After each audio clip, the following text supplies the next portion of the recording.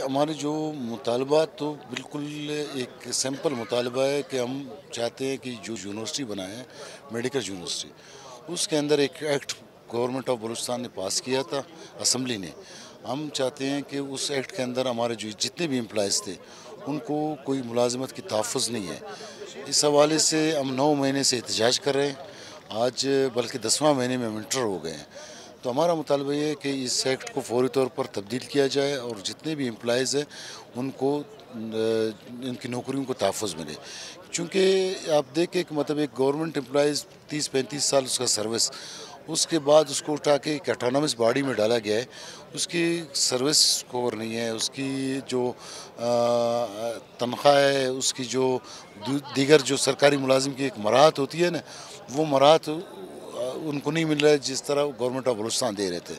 تو ہمارا مطالبہ سمپل سے یہی ہے کہ سارڈینس کے اندر ترمیم کیا جائے اور ملازمتوں کو جتنے ملازمین ہیں ان ملازموں کو اپنے جگہ پہ دوبارہ بلوچستان گورنمنٹ کے ساتھ۔ کہ مذاکرات، آج نہیں، مذاکرات تو تقریباً چار پانچ مذاکرات ہمارے ساتھ ہوئے۔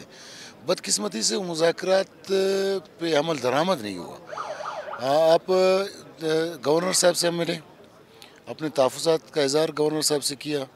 گورنر صاحب نے ہمارے ساتھ ایگری کیا کہ آپ لوگوں کا جو یہ مسئلہ ہے، یہ جینین مسئلہ ہے اور فوری اس کو حل کریں گے۔ لیکن اس پہ عمل درآمد نہیں ہوا۔ اس کے بعد ہم نے احتجاج کیا، پھر چیف جسٹس صاحب نے طلب کیا، وہاں پہ گئے۔ تو چالیس دن کا ٹائم دے کے وہاں پہ بھی مسئلہ حل نہیں ہوا۔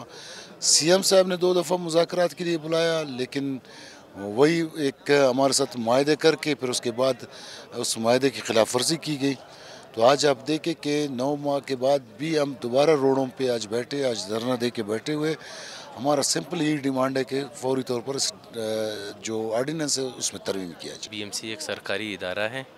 ادارہ تھا۔ جب دو ہزار سترہ میں ایکٹ پاس کیا گیا تو ایک سرکاری ادارے سے ہٹ نکل کے ایک آٹونومس باڈی میں گیا، ایک پرائیویٹ ادارہ بن گیا اور یہ پرائیویٹائزیشن کی طرف جا رہا ہے۔ اور ایک بلوچستان کو آپ دیکھ رہے ہیں کہ تعلیمی لحاظ سے ہم کس لیول پہ ہیں؟ ہمارے ڈسٹرکٹ لیول پہ، ہمارے کالجز اور ہمارے اسکولوں میں کیا حالات ہیں؟ تو ہم ایک میڈیکل کالج کو جو پچاس سال سے ہم لوگ میرٹ کے ڈسٹرک کوٹا کی بنیاد پہ آ رہے ہیں۔ تو اس کو آپ ایک پرائیویٹ ادارہ بنائیں گے، اس کو، اس پہ سیٹوں کو آپ اوپن میرٹ پہ لائیں گے ڈسٹرک میرٹ آپ ختم کریں گے، ڈویژن میرٹ آپ ختم کریں گے۔ تو اس، ظاہر سی بات ہے، بلوچستان کے اسٹوڈنٹ تو اس کے خلاف آواز اٹھائیں گے، یہ تو سب سے بڑا مسئلہ ہے بلوچستان اسٹوڈنٹ۔ اس کے ساتھ ساتھ ہمارے چھوٹے اور بھی مسئلے ہوئے ہمارے فیس بڑھا دیے گئے، بیس ہزار کا فیس، ایک لاکھ چھبیس ہزار کر دیے گئے۔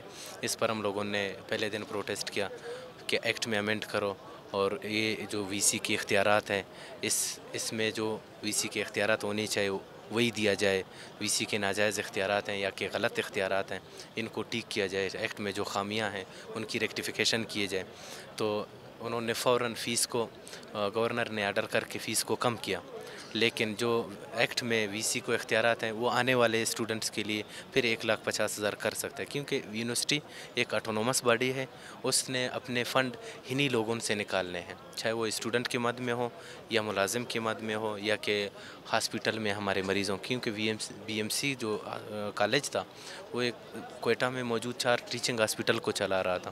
تو وہاں پہ ہمارے پبلک بھی جا رہا ہے ایز اے مریض ایز اے پیشنٹ جا رہے ہیں۔ ہم ڈاکٹر میں ابھی ڈاکٹر ہوں۔ ایز اے ڈاکٹر ہم ان کا علاج کر رہے ہیں۔ جو ہم سرکاری حساب سے ان کا علاج کر رہے تھے، وہ ایک پرائیویٹ ادارہ بن گیا، یہ آہستہ آہستہ سارے پرائیویٹ ہو جائیں گے اور ہمارے مریضوں پر بھی یہ برڈن بڑھ جائے گا۔ ہم لوگوں کا ایک ہی مطالبہ تھا۔ بی ایم سی تحریک بالی جو جب سے شروع ہوا تھا، بی ایم سی کے دو ہزار ستارہ میں جو ایکٹ ہوا تھا، اس میں انمنٹ کرنا، وہ تو ان لوگوں نے پہلے کر لیا نا۔ نوٹفکیشن ہمیں جاری۔ باقی انمنٹ کرنا اسمبلی کا کام ہے۔ یہاں سے کیبنٹ سے پاس کروانا۔ ہم لوگ اسی لیے بیٹھے ہوئے تھے نو تاریخ تک کہ یہاں کیبنٹ سے جو ہی یہ لوگ اس کو لکھ کے دے دیں گے اسمبلی کی طرف بھیج دیں گے۔ اس کے بعد ہم لوگوں کا کام ختم ہوگا۔ پھر ہم لوگ اپنے دھرنے کو ختم کریں گے۔ درمیان میں ان لوگوں نے جو ایک تھوڑا سا ایسا ہم لوگوں کو کچھ اعتراضات تھے اس پہ۔ اعتراضات کی وجہ سے کل ہم لوگوں کو دھرنا ختم کرنا تھا۔ ان کے لیے انہوں نے کہا کہ کل پھر ہم دوبارہ آپ کے ساتھ بیٹھیں گے۔ گزرے ہوئے کل اسد بلوچ صاحب زمرک صاحب اور اپنا ظہور بلیدی صاحب، سیکٹری ایل سیکٹری فنانس۔ انہوں نے بیٹھ کر ہمارے ساتھ مذاکرات کی، وزیر اعلیٰ اس میں۔ انہوں نے ہمیں یقین دہانی کروایا۔ آج وہ لوگ آپس میں بیٹھے، آپس میں انہوں نے میٹنگ کی۔ تو سب لوگوں نے یہ ڈیسائیڈ کیا کہ ٹھیک ہے بھائی، یہ جو ان کے جہاں جہاں ان لوگوں کے اعتراضات ہیں، وہ اعتراضات ان کے ختم ہو وہ اعتراضات ان لوگوں نے ختم کیا۔ اسی پرسنٹ اب لوگوں کا کام ہو چکا ہے۔ بیس پرسنٹ باقی رہ چکا ہے۔ وہ اسمبلی سے ہو جائے گا۔ اس پہ ظاہر وقت لگنا ہے۔ دو مہینے، ڈیڑھ مہینے، تین مہینے لگنے ہیں۔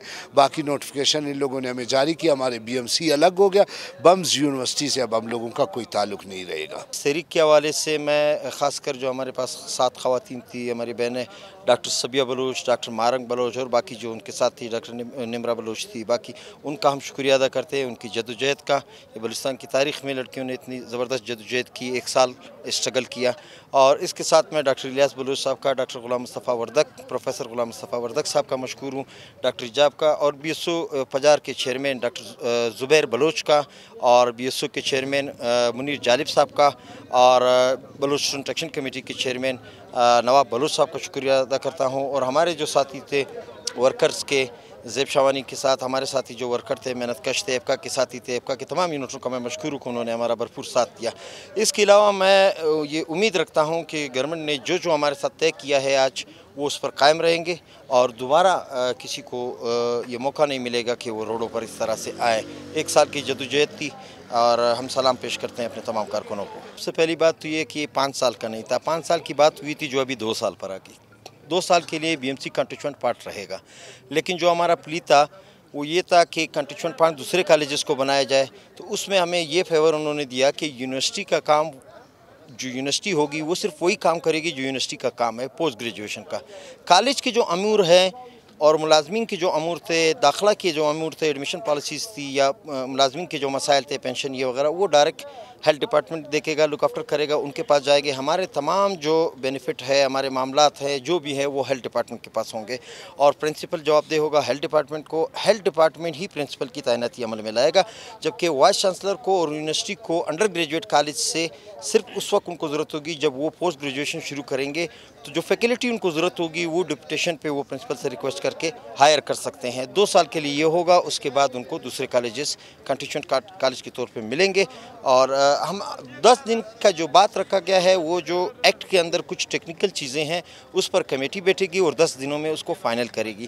تو جو ہمارے ساتھ طے ہوا ہے، وہی چیز جو فائنل ہوئی، تو ظاہر ہے ہم نے احتجاج کرنے کی ضرورت نہیں ہوگی اور ہم اس کو اوکے کریں گے، اس میں ہماری نمائندگی بھی ہوگی۔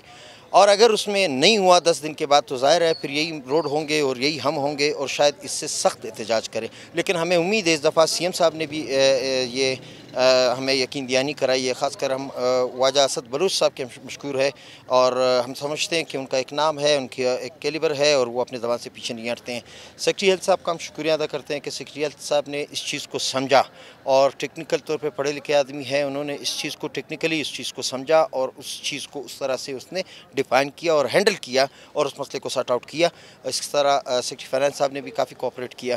تو ہم ان کے مشکور ہے اور ہمیں امید ہے کہ جس طرح سیکٹری ہیلتھ صاحب نے اور واجہ اسد صاحب نے وزیر اعلیٰ کے بہاف پر یہاں پر آ کر بات کی۔ ہمیں امید ہے کہ انشاءاللہ وہ اس بات پر قائم رہیں گے اور اس دفعہ ہمارے ساتھ کوئی دھوکہ نہیں ہوگا۔ ہم پر امید ہے۔